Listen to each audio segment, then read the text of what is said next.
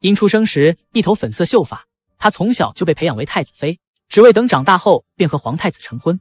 但十八年后，她却被告知神谕弄错了。她以为皇太子不会抛弃她，但等来的却是一句：“我们解除婚约吧。”上古初代圣女和皇帝共同建设了帝国，并帮助国家走向繁荣。据说圣女一个手势就能让数万人的病好起来，只要一句话就能停止战争。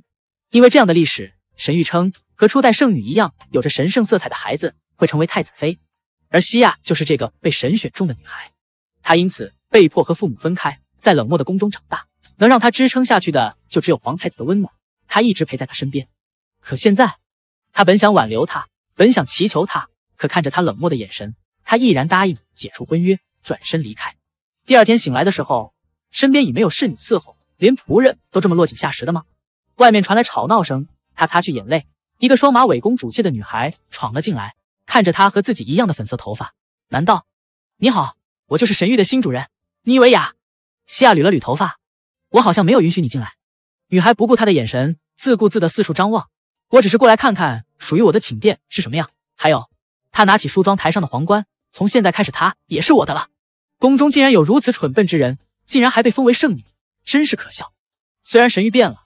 但还没有人说这房间马上就是你的了。西亚厉声道：“皇帝陛下没有让我离开这里，我现在仍然是皇太子的未婚妻，而你只是个公爵家的下等丫头。来人，把她给我轰出去！”看着妮维雅大叫着挣扎被带走，西亚无力的瘫在沙发上。皇太子竟然为了这样的女人摒弃自己，这个代价你要怎么偿还呢？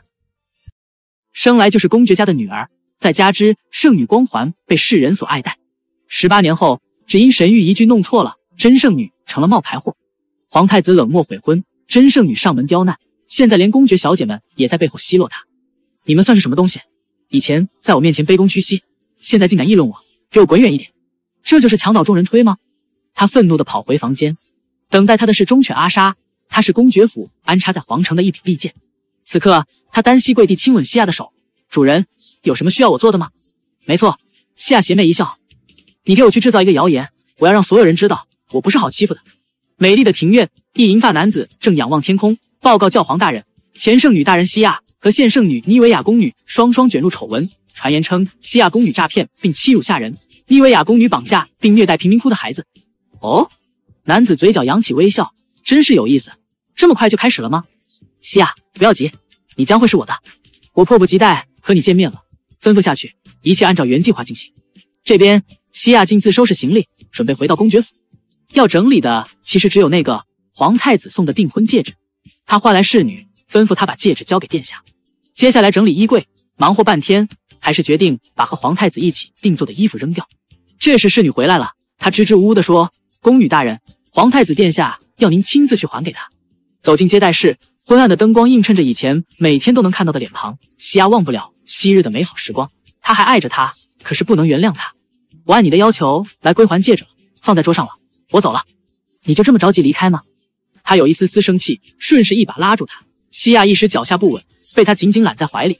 不行，这个距离太近了。只因十八年后神域改变，西亚由真圣女成了冒牌货，连青梅竹马的皇太子也弃她如敝履。归还订婚戒指的时候，皇太子欲言又止，可能他对她还有几分留恋，但是不可原谅。为了自己多年的付出，他决定复仇。深夜，父亲的飞鸽传书在火光的作用下渐渐显现自尽。此前，他吩咐阿莎传播真圣女虐待贫民窟孩子的谣言很成功，但此刻信上提及，妮维雅竟然用自己家族的荣耀和神赐的圣女身份起誓，保证绝对没有伤害过平民，轻易的平息了众怒。西亚唤来阿莎，要他连夜通知父亲新一轮的计划。第二天清晨，侍从长告知西亚，回公爵家的沿路有泥石流发生，暂时没办法离开宫中。不愧是父亲，这么快就办好了。原本想立刻离开皇城，但现在他要在宫中多留些时日，以便搜集更多新圣女的情报。他楚楚可怜，新圣女怎能允许他继续逗留在宫中？上次上门赶他离开，这次还听说神殿送去的建设领地的钱全部被他买了裙子和珠宝，如此嚣张，怎能容下自己？简直人神共愤！侍从长怒道：“这样的人怎么能成为新的太子妃？你是我从小看到大的孩子，只要在这宫中一天，我绝不会让你受委屈。”大殿的门虚掩着，也是西亚事先准备好的戏码，故意透露真圣女的坏话，希望宫中之人好好散播谣言。看着手中的信件，第二波的谣言效果果然不错。现在还需要注意一方势力，那就是教皇神谕的掌控人。如果谣言只能暂时利用普通民众的言论，那真正能动摇本质的还是神谕的掌控人。圣女是神殿的孩子，与圣女为敌就是与神殿为敌。那边迟早会出手帮助真圣女，得提前做好准备。现在的教皇到底是什么样的人呢？想独占西亚的疯批教皇，不惜用假圣女身份把他拉下神坛，而听闻对方正在调查自己时，却又故弄玄虚的隐藏自己的信息。他到底在打什么算盘？这边的西亚正和侍女共享下午茶时光。之前得知新侍女是波尔图瓦家族的女儿，他有意拉拢，只因他的亲哥哥是皇太子的辅佐官。阿泽尔提起哥哥最近忧心忡忡，皇城可能会再次与神殿为敌，说是原来神殿负责的部分要交给皇城。西亚暗自惊愕，已经按照神谕指示封新圣女为太子妃了呀。两方怎么会产生冲突？宫女大人，你好啊！西亚陷入的思考被戏谑的声音打破，原来是皇太子和真圣女妮维雅双双降临。二人亲昵的挽着胳膊，这是在示威吗？妮维雅还和之前那样不可一世，看似问候，实则挑衅。西亚仍旧不给面子，当着皇太子的面教他做人。皇太子静静看着他们争吵，竟一言不发，让人捉摸不透他到底在想什么。妮维雅细语撒娇，让皇太子陪自己离开，可皇太子却冷冷的支开他。妮维雅瞪了一眼西亚，无奈只能尴尬离开。温室剩下两人，皇太子突然上前靠近，警告西亚不要再有什么举动。这些天来，他的所作所为他很清楚。西亚霸气回怼：“你已经没有资格要求我了，我这是为你好，为我好会抛弃我？”他愤然扔下皇太子，飘然而去。走出温室，感觉身后有人跟踪，转身一看，竟是妮维雅。他表示自己已经知道丑闻散播的始作俑者是西亚，还借机让西亚看到他的戒指。这不是西亚退还给皇太子的订婚戒指吗？西亚心中隐隐作痛，但表面镇定自若。带别人的二手货就那么高兴吗？我不管你有没有苦衷，睚眦必报就是我的性格。气走妮维雅，阿莎从隐蔽处出现，她一直在暗中保护西亚。她带来西亚哥哥将要从战场回来的消息，太好了！而且还有，那孩子也会回来了，手中又有了可利用的妻子。心里想着，出征的那个人马上就要回来了。西亚内心充满期待。第二天醒来，西亚惊讶的发现自己的床上铺满了鲜花。你醒了。西亚惊讶抬头，那个本该明天回来的人，居然手捧鲜花出现在自己面前。他眼神清澈，笑容腼腆，一如三年前的样子。他就是皇太子唯一的弟弟，也是皇帝的私生子阿尔普拉多。他扑到西亚怀中，撒娇的喊着：“姐姐！”如此会撒娇的小奶狗，谁能受得了？西亚的思绪飘回小时候，那时候因为自己一次小小的善举，因为身份敏感，被众人孤立的小奶狗就认准了自己，主动粘了上来，赶都赶不走。直到三年前被皇后派去战场。阿尔普多拉一脸幸福地享受着西亚的怀抱，表示自己已经成年了，到了可以把自己当做礼物送给西亚的年纪，太会撩了。小狼狗确定了西亚解除婚约后，表现得十分开心，兴致勃勃邀请西亚共进早餐，可惜被西亚直接拒绝。不过小狼狗并不气馁，离开西亚房间后，脸上露出志在必得的笑容，赶走了小狼狗。西亚终于松了口气。此时府内的仆人正在为不久后给战士们准备的接风宴做着准备。西亚一想到当自己这个过气的太子妃出现在宴会上，能给皇太子和嫁圣女添堵，就十分兴奋，而这也是个不可多得的打击对手的机会。不过具体该用什么办法呢？西亚召唤阿莎，阿莎带来了从父亲那里传来的消息：假圣女的家族以一件丑闻要挟了一个大商贾，给自己提供资金支持。他们家族更是在假圣女上位前就和神殿有了勾结。传说大神官和假圣女是地下情人的关系，西亚有些怀疑。毕竟神职人员是不许恋爱的。不过这件事也给了西亚启发：瓦解敌人的防御可以从内部入手。替我做件事情，去勾引鲁尔泰拉小姐。在阿莎惊讶的目光中，西亚下达了新的命令：用小奶狗明目张胆的勾引新圣女，并在她的酒中下毒，还撞破了他和大神官不可描述之事。复仇真的太过瘾。三天前，在新圣女派来刺杀西亚未果的一众歹徒口中得知，皇太子和妮维雅将会参加战士凯旋的筵席，西亚便和侍女谋划宴会上如何让妮维雅出丑。当晚，西亚挽着凯旋哥哥的手入场。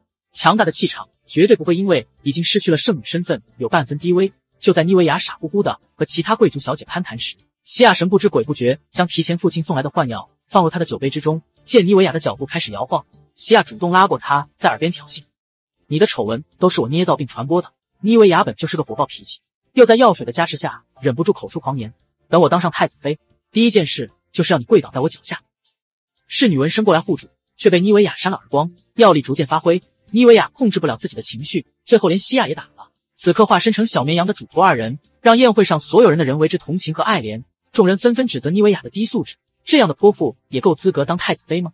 妮维亚吼道：“别再演戏了，你这样做不怕受到神的责罚吗？”西亚回击：“到底是我受到责罚，还是谎称是神说谎的你呢？妮维雅的脸上出现复杂的神情，让西亚更加确定是神域有问题。妮维雅推搡倒地，西亚脚下不稳，却跌在温柔的怀抱，抬头一看，竟是太子殿下。妮维雅羞愧离场，皇太子却拉着西亚把他按到墙上。我不是警告过你不要再生事吗？他摸着他的脸，表情不是责怪，而是担心。与其责怪我，不如看好你的新圣女。皇太子没有再说什么，只一把拉过他的手，深深一吻。他到底要干什么？撇开皇太子之后，西亚独自一人去天台放风。阿莎在隐蔽处出现，给西亚带来了爆炸性的发现：喝醉后的妮维亚竟然和大神官在亲密。你可以是我的吗？眼前的匕首沾满了血迹。这个男人第一次见面就想绑走她。舞会结束后。西亚告知哥哥，阿莎带来新圣女和大神官私通的消息。妮维雅不是什么绝世美人，也没什么过人的才能，是什么能让大神官甘愿犯禁忌与他亲密？哥哥建议杀掉大神官，并伪造他自杀的假象，留下遗书就写神谕是假的。二人恋人关系，所以让他当圣女，无法承受所犯禁忌的罪恶感，所以选择了死。西亚则考虑杀掉神职人员会受到神的处罚，而且神谕是教皇和几个神官一起收到的，杀掉他并不能解决所有问题。所以，先拜托哥哥继续查大神官。和哥哥分开，西亚独自一人回寝殿。别动，有个身份高贵的人要见你。身后突然出现一人，捂住了他的嘴。西亚没有害怕，他甩出随身携带的硫酸逼肺来人，下一秒则将匕首刺穿了他的肩膀。住手！一白光吸走了他的匕首，一银发男子从天而降。西亚不禁被他冰冷的气场压制的动弹。他手心闪出白光，瞬间治愈了绑架人的伤口。是我让他做的。我是神殿的主人，这就是连皇帝都无法轻易招惹的绝对权力者——教皇。西亚故作镇定：“您找我什么事？你可以是我的吗？我已经不是圣女了，对您能有什么价值呢？”教皇的眼神恐怖，却又带着自信和傲娇。你以为神谕真的改变了吗？回到寝殿，侍女进来通报：皇太子召见他。殿下怎么没和您的新圣女在一起？你为什么总是提她？就不能问问我好不好吗？即使我被夺走了，你也觉得无所谓吗？西亚无法遏制住心中的怒火。从小到大，我一直为你而活，而你却一夜之间把我抛弃了。你考虑过我的感受吗？现在我已经不再需要你，我不愿再让您卷入一段自己不情愿的婚姻中。眼前的阿莎心疼的流泪。舞会后没过几天，众多王公贵族家的小姐就再一次围绕他身边，不但送礼物，还不断阿谀讨好。虽然西亚在舞会上演戏博取同情，也让妮维雅出了丑，可自己已不是圣女，如此这般奉承自己，绝对是有什么事情发生。他寻找到阿莎。得知有传闻说教皇想让西亚成为下一代的圣女，但还没有证实，这就矛盾了。在帝国中，圣女有两层含义：一层是拥有强大的神圣力，和教皇平起平坐，担忧百姓的安危；还有一层意义就是这个职位是给教皇的伴侣的。神殿中的人不能结婚，也不能爱上别人，但教皇可，这是教皇的特权和权威的体现。这么说来的话，教皇让她嫁给他，上次见面后被他绑走未遂，接下来又半夜偷偷的跑到他房间。他睡觉，看来教皇真的对他有什么企图。您打算怎么办？不要再把自己当成道具了。我会为您献出我的生命。哥哥想带西亚离开皇宫，回家过平静的生活。可西亚决定暂时留在皇宫。神域是否真的改变？是否有人阴谋以此为契机打击自己家族？教皇对他如此又有什么居心？他都要弄清楚。哥哥，过几天我可能会被绑架，皇太子不会由着我这样胡闹。请哥哥先安排人手在骑士团。这天夜里，信哥带来了母亲的密信，要他寻找记载贵族非法勾当的书。那种书中详细记载了哪些贵族犯了受贿或非法勾当的罪，以及如何制裁他们，甚至连皇族的罪也会一一罗列。母亲要这些做什么呢？他蹑手蹑脚地钻进皇室图书馆，会不会藏在高处？他一试脚下不稳，却跌在一个温暖的怀抱。姐姐是阿尔普拉多。四个男人缠着他不够，哥哥还抢着给他介绍新男人。阿尔普拉多帮他找到了要的书，母亲的交代也总算完成了。今早哥哥来告诉他，自己回公爵领地的计划有变，因为回家路上属于神殿部分的领地有了传染病，而皇城却并没有支援。西亚考虑这可能是皇室的阴谋，皇帝想按照神谕让妮维亚当太子妃，为帝国带来和平和安定。而西亚这么多年被培养的政治才能也不能轻易放掉，所以现在对教皇想让自己当圣女的传闻很是在意。不管怎么样，今天见到教皇要问个清楚。得知妹妹今天要和教皇约定见面，他将身边的最信任的人贴身保护西亚。这位帅哥就是第四骑士团的副团长希伦。为什么要安排他呢？因为我感觉他会是你喜欢的类型。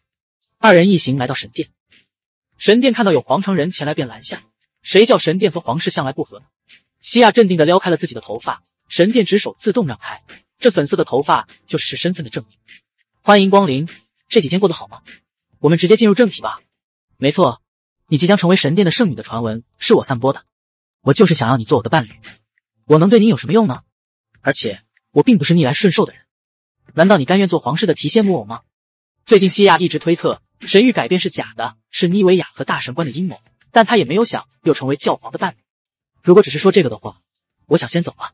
等等，教皇拿出了前代教皇的遗书，只有你能成为皇太子妃，才能带来和平安宁的神谕，这从一开始就是假的。什么？不是最近神谕改变了，是从开始就是假的？那我到底为什么而活？我这么多年的努力又算什么？冷静点。如果我说你会成为皇太子妃是假的，那你会开心吗？真正的神谕是你会给帝国带来和平和安宁，但不是非要成为太子妃。皇帝一直以来都借用神谕把你当做提线木偶。剩下，反正婚姻对于帝国大多数的贵族来说只是一种交易，即使不是自己该走的路，也会因为那几分钱而走上那条路。你从小被带到宫中，被迫和家人分开，被禁锢在皇宫学习政治。皇帝残忍的希望你突破自己的能力底线，这不是利用是什么呢？剩下，你好像有什么误会？皇帝陛下从来没逼迫过我。他看向窗外，看到那边竖立的那座钟楼了吗？那是我要建造的。当时贵族们反对的声音很强烈，说我奢侈，但我只说了我想要，就让他们闭嘴了。因为我想，为了那些没有钟表的百姓可以看到时间，而地标性建筑也会增加观光业收入。我确认我做的事情是有意义的，同理学习政治，帮皇室分忧，也是我自己选择的，而是我创造的意义，也是这个位置带给我的。不过盛夏如此为我着想，我现在真的想和盛夏联手，要报复那个负心的女人。他心里默默念叨：这个女人真的很强大，她没有埋怨别人。她的野心不是看重权力，而是权力带来的成就感。那我现在就得守住底线，试着诱惑你。那么今天先到这吧。我的名字你可以随便利用。西亚出了神殿，外面已经聚集了一些探听八卦的人们，亲眼证实了西亚确实和教皇有联系。贵族们便大献殷勤，其他人还在祷告。你们吵吵闹闹的像什么话？呵斥众人的来人正是和妮维雅有暧昧关系的大神官。西亚神情自若，走出人群。代表众人道歉，却感受到看到自己的大神官神色紧张了起来。您和皇太子殿下的关系怎么样了？走出神殿的西亚被众人拉去喝下午茶，大家都在吐槽大神官刚才训斥他们在神殿外吵嚷。这时候，这个苍老的声音却讽刺：他已经不是皇太子妃了，还赖在皇宫不走。这个名不见经传的亲皇派，看来想借此打探他现在和皇家的关系。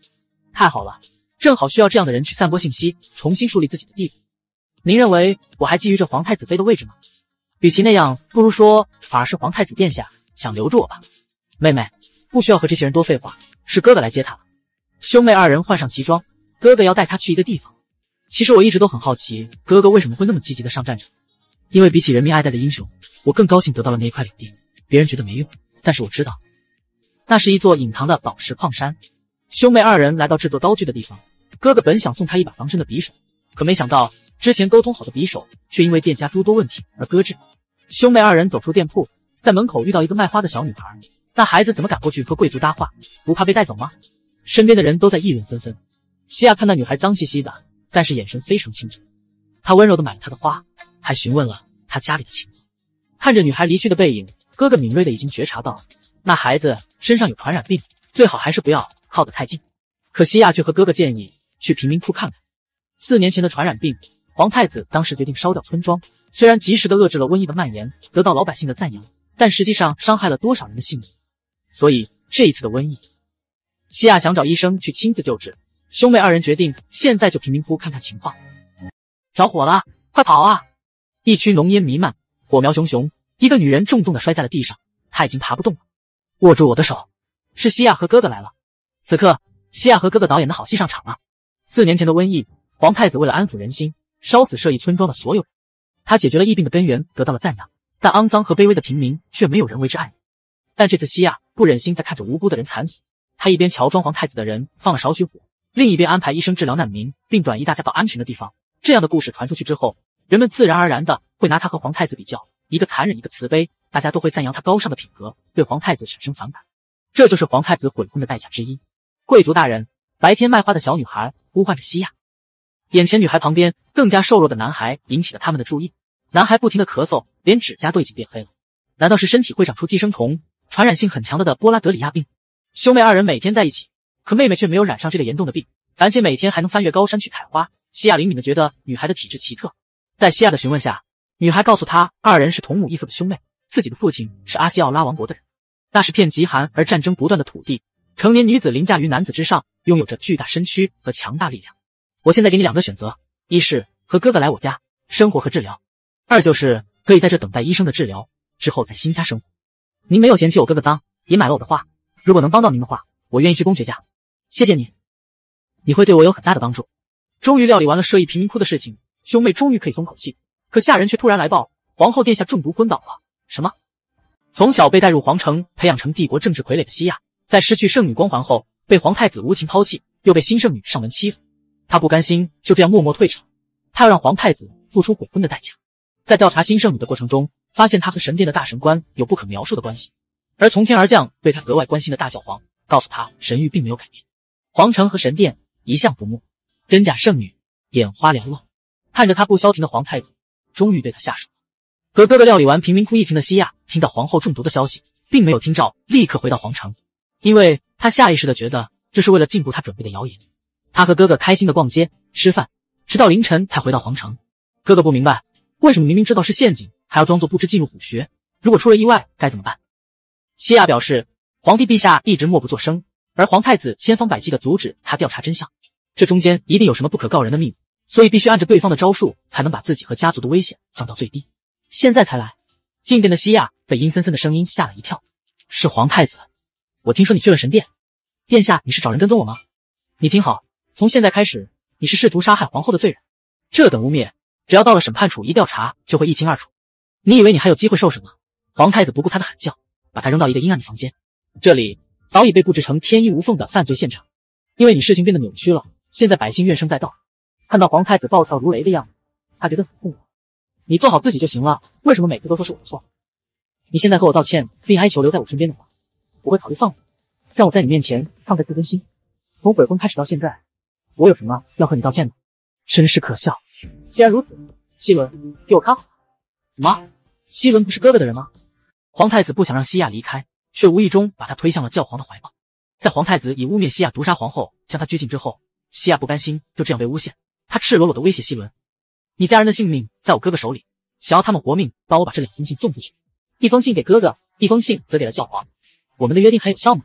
教皇看到信，脸上露出得意的微笑，准备马车，我马上要去皇城。这边哥哥也收到了西亚的信，他不明白，云知道是陷阱，西亚为什么非得继续留在皇城？身边的老管家解释道：“也许是报仇，梦想。”百姓们的评价，或者是爱情，爱情，可能连小姐自己都不知道。十八年的感情，怎么能说放下就放下？正在这时，侍从报告，公爵和夫人往首都这边来了。西亚毒杀皇后被拘禁的消息已传得满城皆知。听闻公爵和夫人离开了领地，正往首都来，皇帝也终于有些坐不住了。皇后曾是西亚的老师，二人关系一直不错。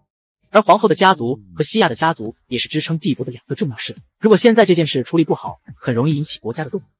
陛下，您打算怎么办？如果神谕改变了的话，我是想让他和阿尔普拉多成婚。可皇太子目前看来还是留恋西亚。皇后虽说娘家硬撑着，但命已尽，又能怎样呢？如果皇后死了，就可以把西亚拘禁在皇城，也就能把公爵踩在脚下。无论如何，我的皇位不能受任何人动摇。陛下，皇太子求见。父亲，请您立刻放了西亚，让他回到皇城的公爵府邸休息吧。刚刚他服毒自杀了。原来西亚借口支开看守的侍从。自己则将不知什么药撒在了自己的饭菜之中服下。你要明白自己的位置，既然他已经不再是圣女，也不再是皇太子妃的身份，和你成婚的将不是他，他现在只是一颗弃子，为什么还要对他怜悯同情？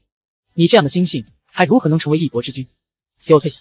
已经三天了，如果今天他还不醒，我就让你陪葬。皇太子斥责着眼前的医师，握着西亚的手：“你就这么讨厌我吗？宁可死也不愿意待在我身边。”呼，西亚呼的吐了一口鲜血，然后继续昏睡过去。梦中，皇太子吻了她。等他再次清醒过来，身旁已空无一人。滋滋吱，床边飞来的信鸽是哥哥送来帮助清除体内余毒的药。信中还告诉他，皇帝已经公布他不是毒害皇后的犯人。传言皇太子其实不想让他出去，所以把他关起来。你在那里干什么？身后传来皇太子的声音。我明天要离开皇城。西亚说道。我用服毒来表示我的清白。皇帝陛下也公开我不是罪人，所以我没有留下的理由。如果你再把我诬陷成犯人拘禁我，那你就是真的希望我死。我要是不允许呢？皇太子还是那么强硬。西亚这一刻控制不了自己压抑已久的情绪。你说订婚就订婚，你说悔婚就悔婚，我还要服从你到什么时候？他摇着他的肩膀，什么？服从我？那么我渴望的是什么？你知道吗？你可以拒绝我的悔婚请求，流着眼泪也可以回头，但是你没有。我的希望就是，无论什么情况，你都会坚定的选择我。丢掉自尊心是那么难的事情，是你抛弃的我。殿下，你为什么不放下自尊心？先问我是否想做你的太子妃呢？我从小被培训成政治木偶，虽然很累，还想念家人，但仍然留在皇城，是因为我爱着你。真的吗？你留在皇城到今天，是因为爱我？从太子妃的位置上下来，我留了这么久，是不想放弃我们十多年的感情。可现在我已经厌倦了，我不再爱你。谢谢你这段时间让我整理了对你的感情。西亚，站住！你说爱我，为什么还要走？皇太子跑向西亚，试图拉住他，西亚却抽出了匕首。两人撕扯中，匕首割断了西亚的粉色长发。第一次见男生扯女生头发，女生拿出刀把头发劈了。割发断情是天意吗？皇太子手握半截长发，愣在原地。西亚回到自己房间。眼泪还是不争气的流下来，正好彻底剪短头发吧。突然门外传来动静，他警觉的一下子打开门，银白的头发照亮了他。收到了你的信，用行动表示诚意就过来了，不喜欢吗？大教皇来了，我不是圣女，也不是太子妃，我没什么可以给你的。西亚低落道：“让你白跑了一趟，对不起，你走吧。”我不走。神说，无论是师托的灵爱还是谁，都要无微不至的付出爱。所以你在为什么而悲伤呢？路是越走越宽的。别再对着堵墙做大喊大叫的形式，相信自己，走下去，路会成为自己的路的。教皇摸着西亚脸，安慰道：“这段时间辛苦，睡一会吧。这不是结束，而是新的开始。”当第一缕阳光洒到床上的时候，西亚睡醒了。咦，看着镜子中的自己，已成了短发，睡得好吗？短头发也很适合你呢。教皇走进来，我给你剪头发也不是什么难事。什么？你帮我剪的？你为什么还在这里？教皇摸了摸他的额头。因为你昨晚不让我走啊！骗人！我是神的代理人，不会撒谎。今天比起昨天感觉怎么样？还是是沉浸在悲伤的女人吗？和你老实说吧，你为了当上太子妃努力学习的知识是我看中的。我的神圣力只有在相信神的时候才有效，那会持续到什么时候说不定。有一天会被权力排挤，所以我真的需要你。我不希望你成为神殿的工具，只是我一个人的力量不够，需要和我一样的。这样的话，你愿意成为我的圣女吗？西亚被教皇的话语触动了。是的。本以为自己已经没有任何价值，不知道未来的路该怎么。好吧，我答应你，但有个条件，我今天要去趟公爵在皇城的府邸。教皇笑道：“马车已经准备好了，一起去吧。”确定这个约定不关于爱情哦。我现在不相信爱情了，只相信彼此的利益。教皇微微一笑，不发一言，拉过西亚的手，放了一只闪亮的匕首在他手心。那些看不见的东西确实是很难相信。那么中午庭院前见。唰，一个银色身影在阿尔普拉多的身前飘过。这个时间。这个男人从姐姐的房间走出来，西亚收拾好行李，又来到书房检查那本之前和公爵家传递信息的书，里面掉下来一张纸条：“我没有病。”这是皇后的字迹。对了，之前皇后知道她偏爱这本历史书。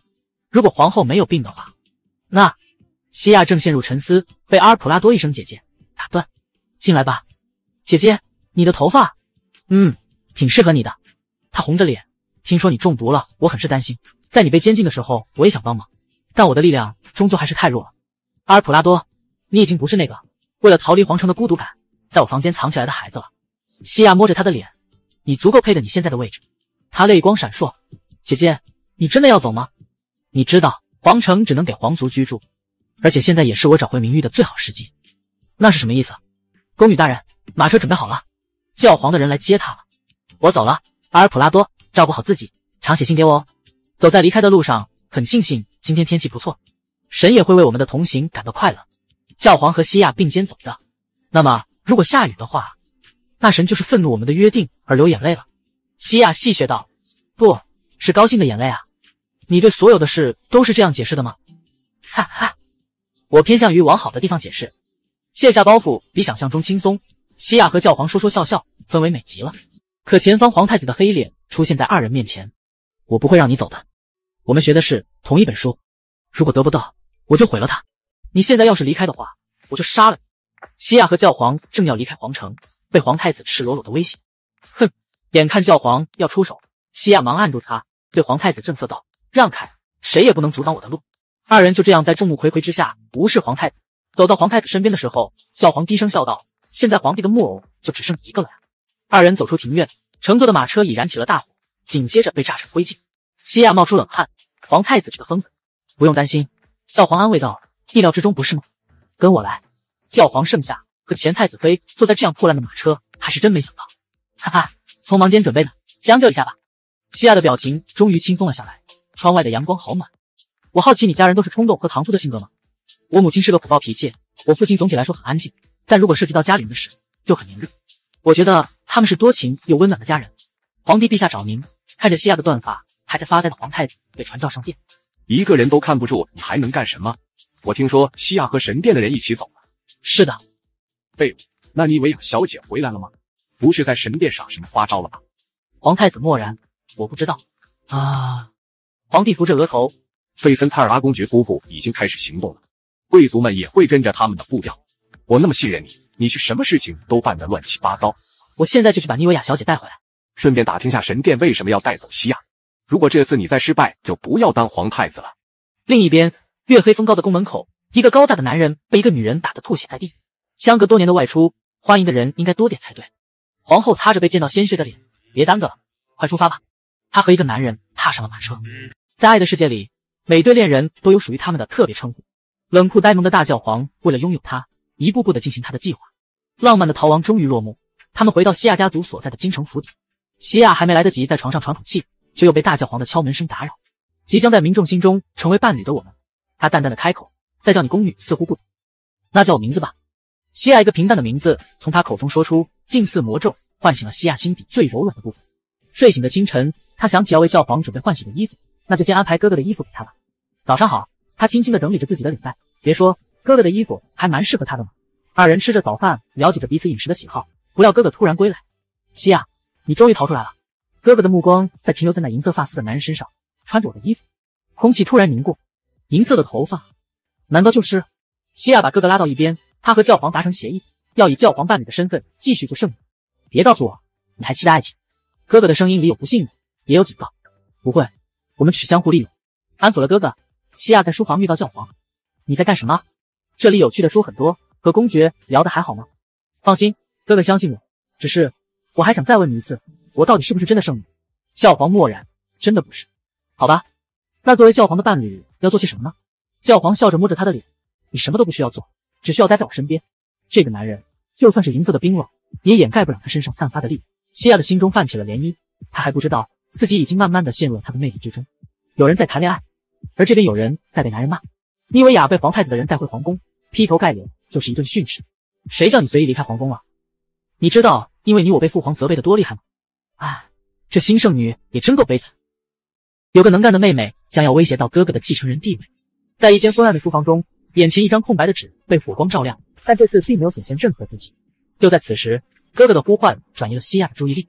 你真是一分钟都不让我省心。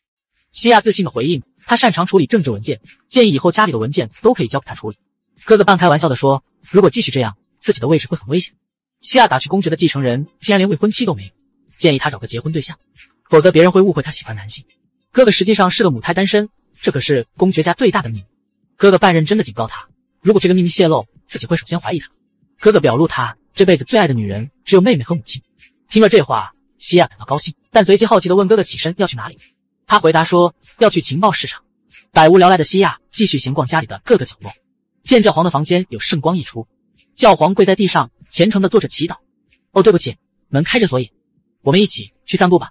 教皇对他还是一样的温柔。天气越来越凉了，西亚忍不住打了个寒战。教皇忽然感觉到一股不祥的气息，他让西亚进屋暖和，自己则等待危险的降临。一个黑衣人影如幽灵般从暗处突然出现，锋利的刀片抵在教皇的脖颈。如果杀了神职人员，将会受到神的惩罚，你不怕吗？黑衣人表示只想逼迫他交出西亚。白日做梦，他转身以惊人的敏捷性和决断掐住了黑衣人的脖子。刷刷，更多黑衣人从天而降，围住了他。可下一秒，西亚带领士兵及时赶到，将其他伏击者一网打尽。这点伎俩还能瞒过我？二人平息了来袭者，刚松了口气，就见侍女急匆匆的跑进来。少爷受了重伤，失去意识。在悔婚和污蔑的背叛后，西亚和教皇私奔。触怒了皇室，甚至连家人。哥哥一行遭遇伏击，伤痕累累，生命垂危。西亚现在除了等待医生的到来，无计可施。现在你该需要我的帮忙了吧？教皇来到哥哥床边，手上燃起剧烈的光芒，围绕在满是伤口的脊背。只一会，哥哥的伤口竟然奇迹般的愈合。这就是神圣力的强大吗？我们成了伴侣，就是一家人，这点程度对我来说不算难。教皇微笑道：“谢谢你，没关系。看到你的笑容，我就安心了。”当侍从报告医师抵达时，哥哥已经无大碍。西亚吩咐医师去治疗其他受伤的骑士。然而，一位骑士胳膊伤口中毒太深，面临截肢的厄运。可以再麻烦你一次吗？好啊，我很高兴你向我求助。教皇再次施展神力，他的金色圣光不仅治愈了骑士，也令所有人对这神秘力量惊叹不已。此时，侍女来禀报哥哥苏醒了。教皇承诺继续照料余下的伤员，让西亚安心前往哥哥身边。教皇的柔情与力量让西亚深感安慰，虽然还是感觉到一点疼痛，但是还是好神奇。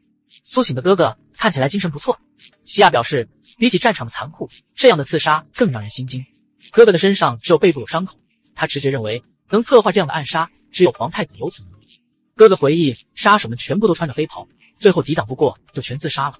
看来皇室对西亚这个前太子妃和现在的教皇联手极其不满意。哥哥摸着西亚的头，不用怕，我相信你的选择。现在看来，皇太子的地位岌岌可危，也怪不得他心狠手辣。在这一天的刺杀和哥哥生死未卜的经历后，西亚疲惫不堪，深感无力。正当他陷入自责时，一个人按住了他的肩膀。喜欢上一个人，就是想了解对方的一切。被人捏住肩膀的西亚吓了一跳。转身后，愤怒变为惊讶，原来是教皇。你这个表情，要是手里再有一把短剑，那么可能我就丧命了。西亚称他为什么悄无声息，教皇表示西亚过于出神，叫了他没反应。你的小脑袋在想什么呢？我在想我自己的无能。人都是无力的，顺其自然的见招拆招就好了。这样看来，我对盛夏、年龄、外貌、成长经历、性格一无所知，只有你安慰我，我从未关怀过你。你开始好奇了吗？你叫我名字的话，我就以后慢慢都告诉你。阿斯利埃尔，西亚缓缓叫出他的名字。我父母去世了，我晕倒在神殿附近，被前任教皇捡到，抚养我长大。我也不知道我几岁，不过应该和你哥哥皇太子差不多大吧。想成为教皇的理由是？是啊，为什么呢？夜深了，该回房了。讨厌，干嘛突然转换话题啊？你先去睡吧。回到屋里的西亚径直拿起一本书。教皇取下袍子给西亚，如果睡不着盖上它，会很好入睡。要不然我哄你睡。算了，你快出去了。这边刺探情报的侍卫报告给皇太子，教皇没有在神殿，最后出现的时候是乘着马车往皇城方向来。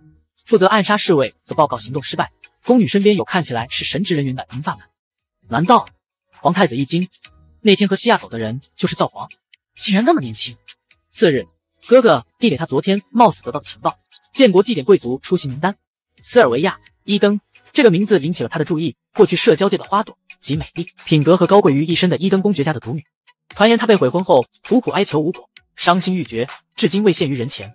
哥哥，我要这位小姐的全部信息。另外，通过此次建国祭典，我要让大家都看到咱们公爵家的财力。为了让富商欠自己一个人情，禁锢杀手杀自己。哥哥这天的精神好了很多。三人吃完早餐，来到庭院散步。教皇突然叫住西亚：“给你看点好玩的。”他的手指轻轻触及一朵尚未盛开的花蕾，瞬间那花便华丽的绽放开来。西亚不禁发出了感叹：“神圣力真是了不起。”教皇微笑着摘下那朵花：“这朵花送给你，别担心，经过我的手的花不会那么快凋谢。”这番情话让西亚的脸顿时涨得通红，就连一旁的哥哥也忍不住笑嘻嘻的凑过来观赏这美丽的花朵。天气甚好，不如咱们一起去游船吧。好啊，教皇附和道。这两人的关系什么时候变得这么亲密了？三人来到湖边，少女们得知哥哥这个万人迷在此，便纷纷聚集过来。然而，旁观者开始窃窃私语，议论着费森泰尔阿公爵与神官的不寻常组合。西亚不知不觉笑着挽住了教皇，对哥哥调皮的说：“从这些人中给我挑个嫂子吧，我们先去玩了，别丢下我啊！”哥哥尴尬道。碧波荡漾的湖面上，教皇问西亚：“最近一次游船是什么时候？”西亚忽然想起了和皇太子共度的时光，但他忍住了那些苦涩的回忆，只是低下了头。我记不太清了，但应该是在三岁之前。自从三岁进了皇城，就再也没有出来。教皇突然调皮的将水花溅到西亚的脸上，呵呵的笑着。他温柔的说：“这一刻，我要你记住，这就是美好的回忆，不要忘记。”到了岸边，西亚一个不留神，差点掉进水里。教皇及时揽住了他。天哪，他的胸膛好温暖。这暧昧的气氛，二人还没来得及回味，突然间喊杀声震天，一群杀手出现了。远处一些平民也在恐慌中呼救，在皇城的骑士们及时赶到，与教皇和哥哥并肩作战，击退了杀手。可谁都不知道，这群杀手竟然是西亚自己安排的。公爵，谢谢您救了我的女儿。西亚成功策划了一次暗杀行动，赢得了帝国富商的支持，巩固了自己家族的势力。颇有权谋的西亚有点在意教皇会怎么想自己，所以他选择了隐瞒，只将其告知自己的哥哥。寂静的深夜，西亚坚持要求哥哥陪他练习剑术。西亚明白，在危险的世界里，他不能总依赖哥哥和阿莎的保护，必须学会自立。练习中，哥哥虽然肩膀上有轻伤，但还是轻松的击落了西亚。哥哥表示，现在的阿尔普拉多可以打败自己。曾经的孩子，如今经过战场的磨练，已经成长为一个战士，并有了一个新的绰号——血的恶魔。西亚的思绪不由自主地飘向他。这孩子最近还好吗？在宫廷的阴暗角落，皇太子的眼神中正闪烁着对阿尔普拉多的深深敌意。他愤怒地质问他为何未经允许便擅自闯入。阿尔普拉多平静的回应是父王派他来学习如何成为一名合格的皇太子。皇太子站起身来，冷漠地扫视着阿尔普拉多，他的语气中充满了轻蔑与挑衅。他质疑阿尔普拉多的野心是否仅凭一句父王的话就想取代他的位置。在这一刻，皇太子似乎将周围的一切都视为污秽，命令侍从清扫殿堂。阿尔普拉多此时无法再压抑内心的愤怒，他表明，即使他对皇太子之位有所觊觎，皇太子又能如何？他强调自己已经不再受制于家族中的其他成员，自从西亚走后，就已经没有了任何顾忌。皇太子轻蔑地称呼阿尔普拉多为庶子，并威胁说，一旦自己登基，将会是阿尔普拉多的死期。然而，阿尔普拉多毫不畏惧，他坚定地表示自己已经不是过去那个容易被欺负、因出身低微而自卑的孩子了，自己在实力上不会输给皇太子。正当两人的紧张气氛达到顶点时，一个侍从打断了他们：“殿下，妮维亚圣女不见了。”皇太子冲入妮维亚的寝殿，眼前的一幕让他愤怒难当。阿莎正俯身亲吻妮维亚的玉嘴，皇太子的声音夹杂着愤怒，响彻整个房间。我在你老实待着，难道那么难吗？还敢带这样的贱民进皇宫？你究竟是疯了还是胆大包天？妮维雅脸上的神情是复杂而又无奈的，只从嘴里吐出了三个字：“对不起。”在这座冷漠的皇宫中，她显得格外孤独。阿莎轻声说：“她是唯一看见妮维雅内心美丽的人。”但还没说完，就被皇太子打断了。来人，把这个无礼之徒赶出皇宫！皇太子的声音如雷霆般响起。妮维雅的身体软弱的倒在地上，她的唯一慰藉也被夺走。与此同时，西亚正与教皇下棋。侍女带来了关于阿莎的最新消息。原来这段时间，阿莎一直在诱惑妮维亚，并成功赢得了她的心。西亚冷静的吩咐侍女，让阿莎先待命，并将在妮维亚那里探听到的消息上报。秋雨缠绵，刑场上马尔亚子爵因杀害贵族小姐而被处以绞刑。西亚和他的哥哥在人群中静静的观看，正是他们揭发了马尔亚。但这不仅仅是因为与家族水稻扩张工程上的冲突，还有另外的原因。没有得到我的同意就处决马尔斯，是谁给你们的胆子？皇太子在另一边怒吼。殊不知这是皇帝决定，他感到自己的权力正一点点地被剥夺。与此同时，宫廷内外流言蜚语四起。有人说马尔亚子爵原本是皇帝的人，此次被处刑意味着他失去了皇帝的庇护。还有人说。自从二皇子从战场归来后，便有种种议论，继承人的位置是否将有变？我亲眼看到费森泰尔公爵家的人和神官在一起走动，难道费森泰尔公爵已经站到了神殿一方？听说费森泰尔公爵家的矿山即将输出宝石，如果这是真的，那么他们家将成为帝国名副其实的首富。这一切都是西亚为了报复鬼婚的代价而进行的一系列操作。教皇微笑着说：“原本我以为是我在利用你，现在看来，反倒是我被你利用了。”皇太子竟然下令焚烧神圣的神殿，他的冲动举动让西亚和教皇不得不暂时分开。剩下明天就要回神殿了吧？此刻，西亚和教皇正在共享早餐。如果下午没事，和我下棋吧。教皇轻笑着阴语：“你还真执着，连续玩了五天都不腻。二百五十五胜二百五十六败，我还没赢呢。不许故意输给我，我要堂堂正正的决胜负。这个女人胜负欲还真强。鸡蛋很好吃，给你来一个。不过我对鸡蛋挑食是对身体不好的哦。”快吃到，这样吗？哈哈，好吧。一边的哥哥偷偷的看着他俩，相处的蛮好的嘛？深夜，西亚独自一人，听着夜风的细雨，却突然闻到了一股刺鼻的鲜血。他惊恐的掀开窗帘，发现教皇站在窗外。啊，抱歉，是我走错屋子了吗？吓到你了吧？剩下你受伤了吗？我听说神官是不会杀生的，所以谢谢你为我担心。是别人的血沾染到我的袍子上了。神殿着火了，有点小混乱。听说我明天回去，有人趁着今晚的时间故意放火，没受伤就好。西亚的忧虑随着教皇的安慰而消散。那么我们献国节再见了，在那之前都不见了吗？嗯，这西亚欲言又止。好了，要做的事情很多，我先走了。教皇哗啦一声消失在月色中。第二天，当教皇离开时，西亚并没有出面送别，他拒绝了哥哥提议和教皇共进早餐的建议，显得有些忙碌与烦恼。听哥哥说西亚不出来了，教皇留下了一个微笑。却也意识到了西亚的不同寻常。就在这时，侍女送来了西亚亲手为教皇准备的礼物——一件袍子。好，那下次见了。西亚在楼上默默地注视着教皇的车马缓缓离去，他的心中五味杂陈，是不舍还是……这时，侍女报告，有关伊登公爵家独女的最新消息打听到了。女孩的父亲与他曾经的订婚者联手，雇佣了暗杀者，企图除掉他。只是为了保全家族的名声。西亚得到消息后，告诉哥哥自己要去救他。斯尔维亚印象中那个清秀而神秘内敛的女孩，似乎能轻易洞察人心。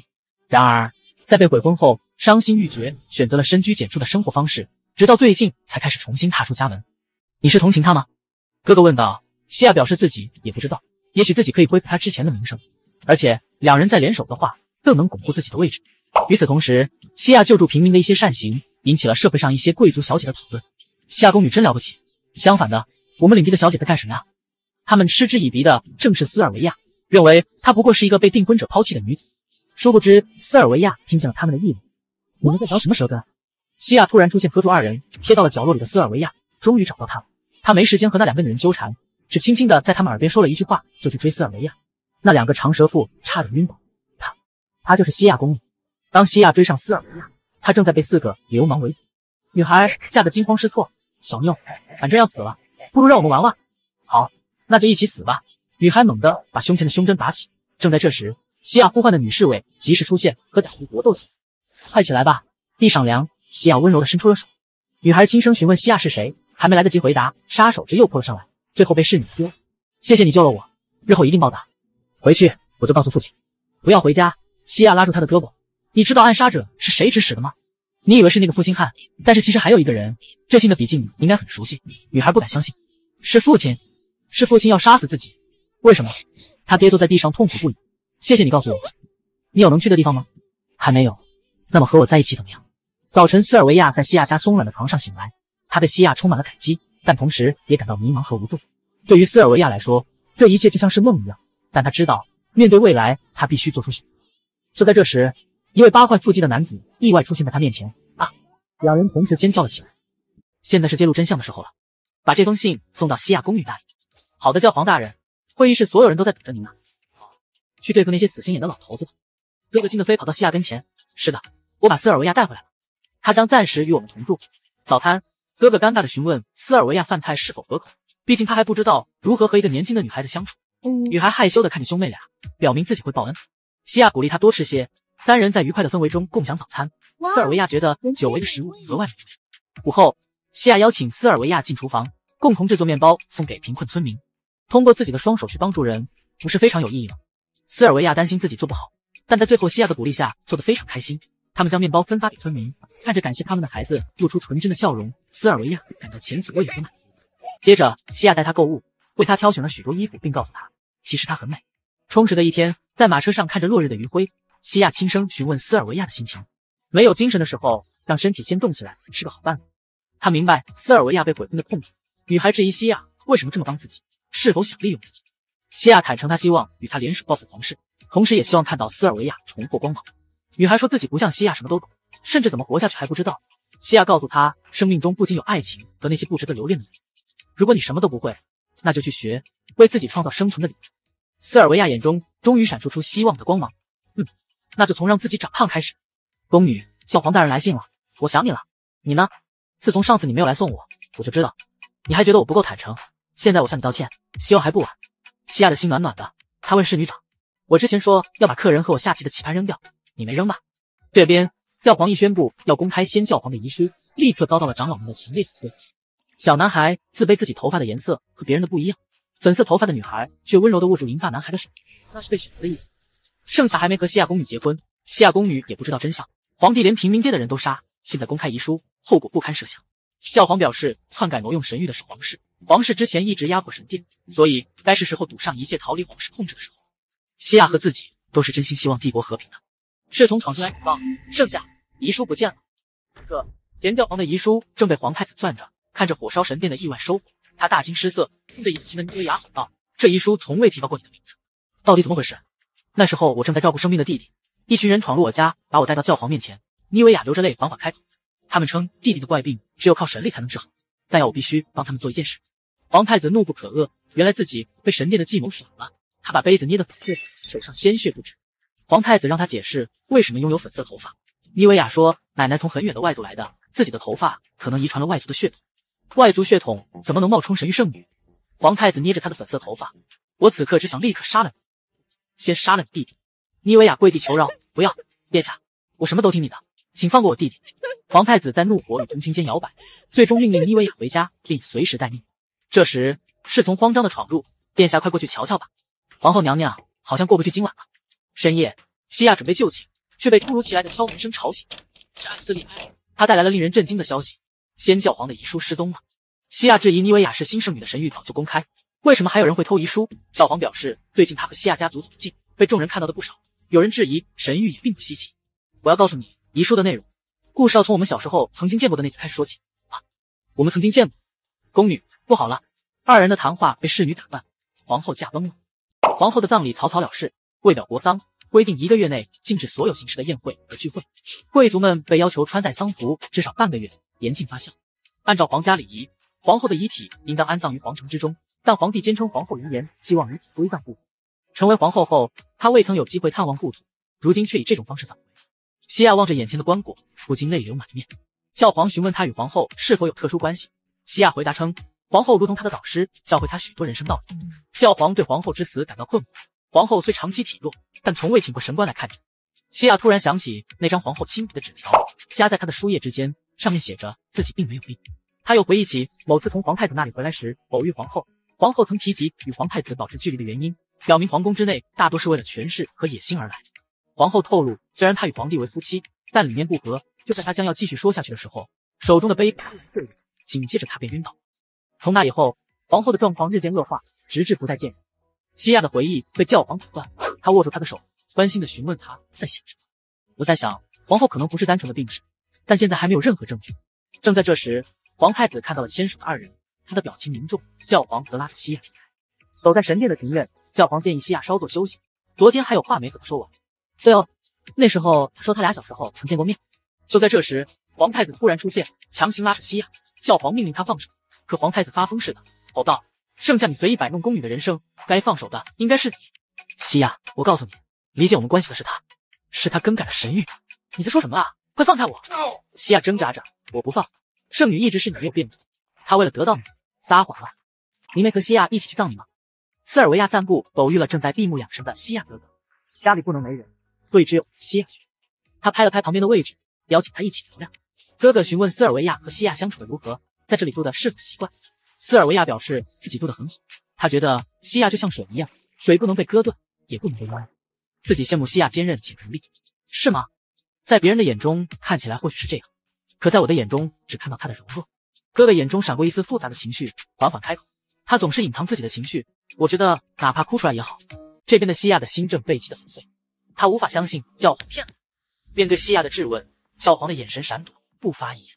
西亚转身跑开，皇太子则对着教皇咆哮：“你怎么不分辨？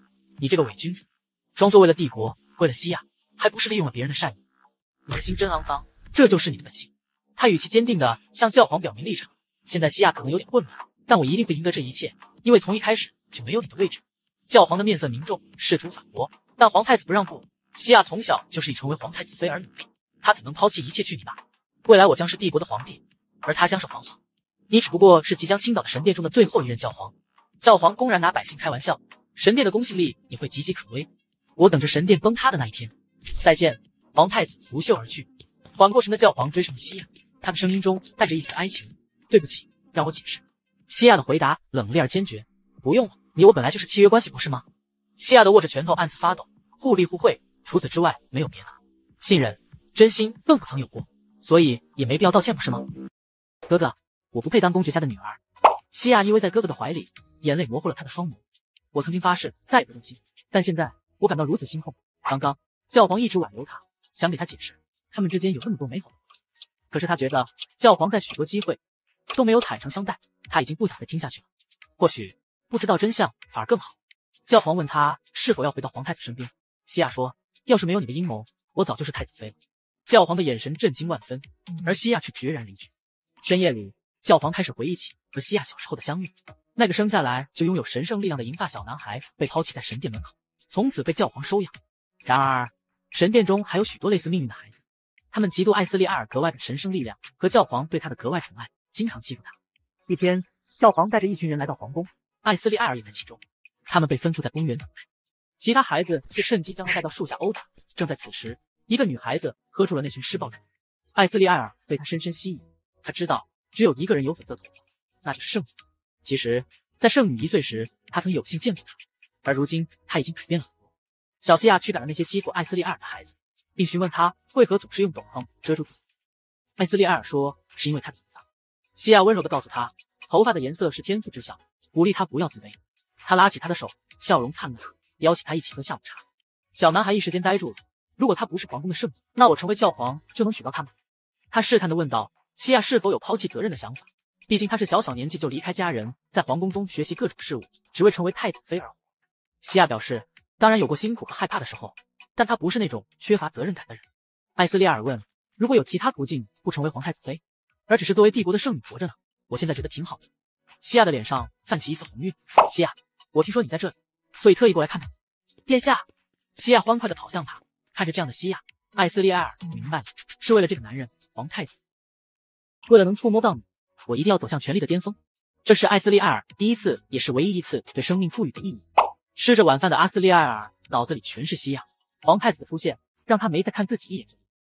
他什么时候也会对我那样笑？喂喂，你小子怎么了？旁边的孩子好奇他从来没有过这样的表情。艾斯利埃尔抓着自己的头发，告诉自己不要再想了。就在这时，侍从报告。皇帝陛下让教皇带着今天入宫的孩子立刻去见他。教皇隐隐感到不安，皇帝陛下的权威无法动摇，还是快点过去看看到底怎么回事。见到教皇一行的皇帝疾言厉色的开始训斥，让太子妃抛弃责任的那个家伙是谁？他立刻心生罪，斥责教皇是不是有意要夺走圣女。教皇表示自己并不知道有这种事情发生。队伍中，艾斯利埃尔紧张的开始流汗，自己竟然惹出了这么大的篓子，要站出来吗？见没有人出来自首，皇帝命令把西亚和皇太子都叫来。当堂询问，皇太子表示确实看到西亚和神殿的孩子一起，但是离得远，并没有记住对方的长相。西亚则敏锐的判断是白天那两个侍女多嘴。西亚问皇帝陛下，如果找到了那个孩子，要怎么处置他？皇帝当场表示要把他的嘴撕碎。好可怕！艾斯利埃尔没有勇气站出来。善良的西亚转头看看艾斯利埃尔，然后正色说道：“自己和神殿的孩子聊天是事实，但是并没有说过让他放弃皇太子妃责任的话。罪魁祸首是那两个编造谎言的侍女。”艾斯利埃尔震惊了。这个女孩竟然为自己撒了谎。皇帝虽然有一点疑问，但最后西亚立正，还是那两个侍女处决了，并决定给西亚换侍女的期间，要她暂时不要出宫。最近的休假就当没发生吧。西亚的脸上露出失落的神情。皇太子想求情，可皇帝立刻制止了他。这美女说话的很。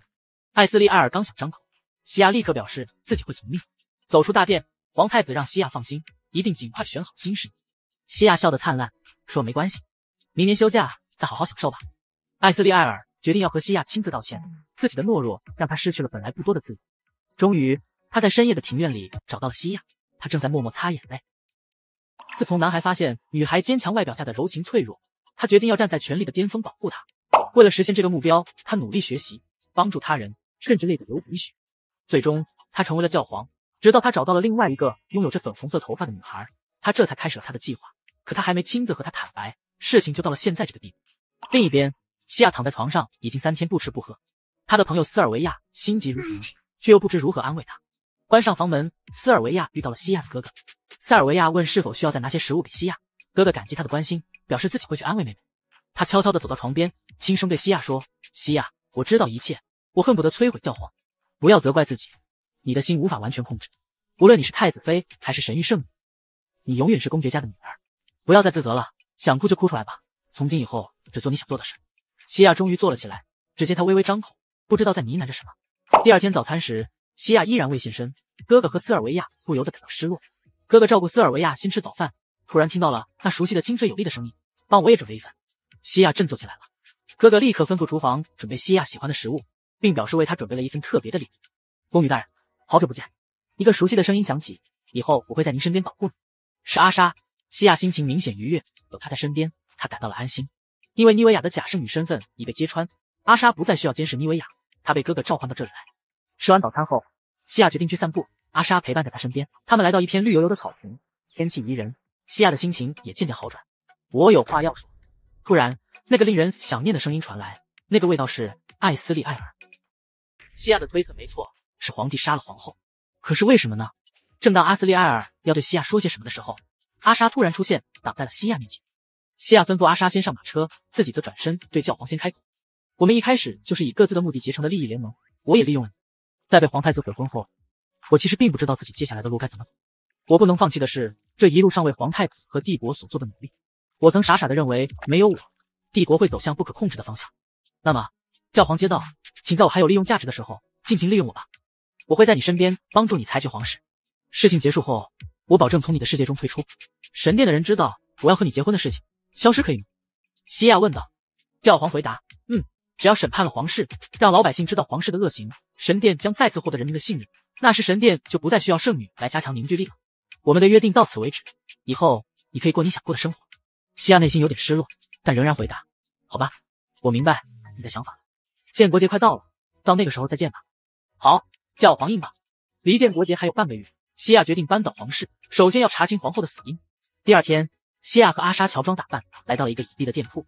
表面上这是卖武器的店铺，实际上却是一个贩卖各种毒药的地方。西亚假装与店主谈着要买五十柄长剑的生意，并拿出了一袋子黄金。店主乐得合不拢嘴，表示这么大的单子需要马上去工厂安排一下，所以暂时离开了店铺。趁此机会，西亚仔细搜查店里的角落，终于他找到了一本账簿，里面清晰的记录了购买毒药的人名。一个既熟悉又可怕的名字映入他的眼帘：唐帕夫尔。这不是帕沃洛塞的假名吗？他购买的是慢性毒药。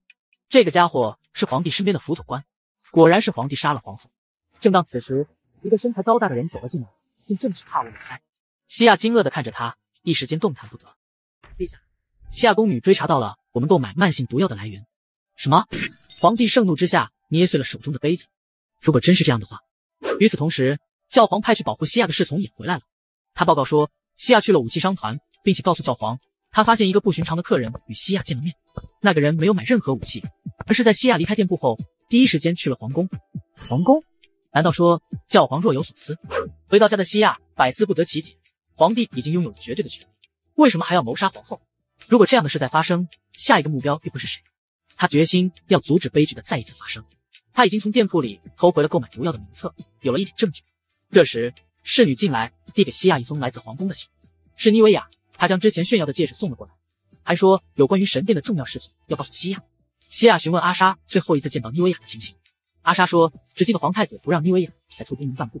西亚立刻叫仆人准备马车，决定亲自去皇宫一趟。帕沃洛塞从皇帝那出来，迎面碰上了皇太子。皇太子疑惑为何父亲一大早就召见自己。皇帝听说了皇太子将妮维亚送回伯爵家的事，皇太子解释道：“既然她不是真圣女，留在皇宫也没什么。”皇帝冷冷地说：“妮维亚将因为谋害西亚宫女的罪名，很快就会被处死，这样子没问题。”皇太子惊愕地问。为什么要杀西亚？皇帝冷笑道：“曾经为了早一步得到圣女，为了赢得神殿的支持，他付出了多少努力？所以现在西亚是否是真圣女都无所谓，只要找到一个粉发的女子，说她是圣女就行。皇权的威严不容许神殿插手，所以西亚也好，妮维亚也好，他全都要杀掉。”侍从闯了进来，来皇宫的路，一辆马车爆炸了。皇帝露出了得逞的笑容：“西亚果然上当了，我不会让你出事。”在浓烈的火焰中，教皇紧紧抱着西亚。他是怎么会出现？事情要从头说起。